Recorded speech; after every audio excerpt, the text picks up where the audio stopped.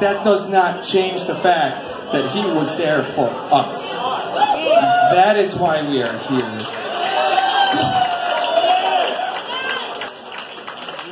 You hear great sorrow in some of these pieces. And you're going to hear great sorrow in this hit that you're all going to fucking know. But the triumph is it, of it is that he was able to bring that sorrow to a place of artistic greatness and to give it to us as a way to deal with those dark places. That's what I leave you with. Burden in my hand.